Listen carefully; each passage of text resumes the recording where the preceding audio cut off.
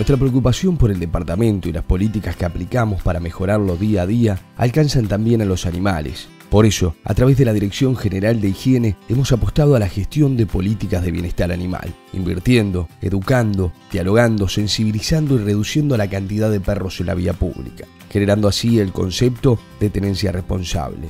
Durante estos años hemos trabajado en conjunto con organizaciones y fundaciones en pro del bienestar animal. En la actualidad tenemos alrededor de 300 perros y 20 gatos. Eh, la idea es poder seguir tratando de bajar el número de la población del refugio, ya que esto es un lugar transitorio hasta conseguir adoptantes.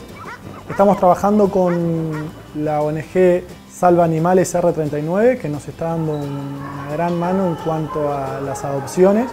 Tenemos alrededor de 350 adopciones por año. Una de las, de las obras que se vienen haciendo acá en el refugio y que se implementaron es la creación de un recinto que de aproximadamente una hectárea y media, con un tajamar en el medio donde viven alrededor de 60 perros. También se hizo la creación de un cachorrero para poder tener un lugar exclusivo para, para los cachorros.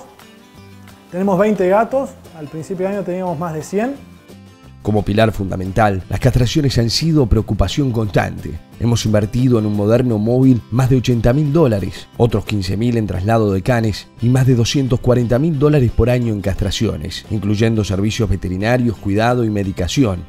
El nuevo móvil es un quirófano, con tecnología de última generación, cuenta con energías renovables y está adaptado para castrar más de 6 perros al mismo tiempo. Un móvil para que esté castrando los perros por el barrio me parece bárbaro está muy bueno.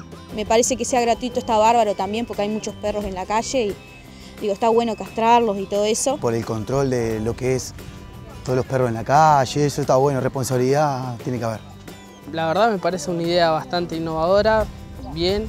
Eh, el hecho de que se hagan las castraciones totalmente gratis ayudará a que Maldonado vaya mejor, que no haya tantos perros en la, calle. Le da un bienestar al mismo animal y a la población en general.